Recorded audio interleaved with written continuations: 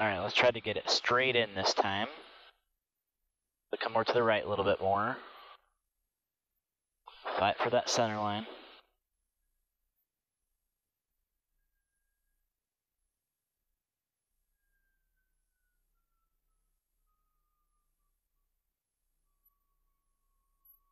The right rudder to line up the nose of the runway. You see how I did that?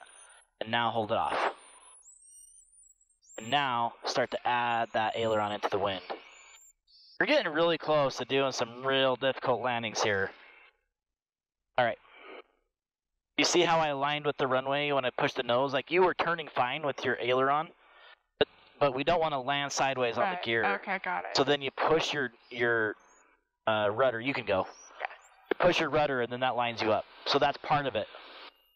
Jumpstart your aviation journey today by going to angleofattack.com or downloading our free app on the Apple App Store or Google Play Store.